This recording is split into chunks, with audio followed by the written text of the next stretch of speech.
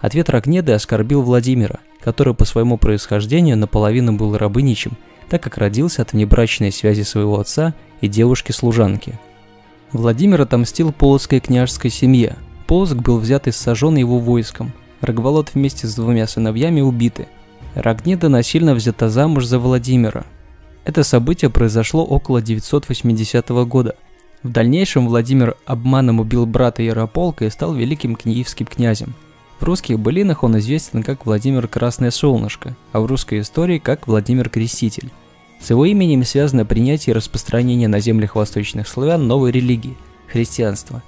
При Владимире достигла своего наивысшего расцвета Киевская Русь. Было почти завершено объединение восточнославянских земель. Владимир дал пленной полоцкой княжне новое имя – Горислава. Оно, вероятно, обозначало «сияет, горит славой» или наоборот, известное горем –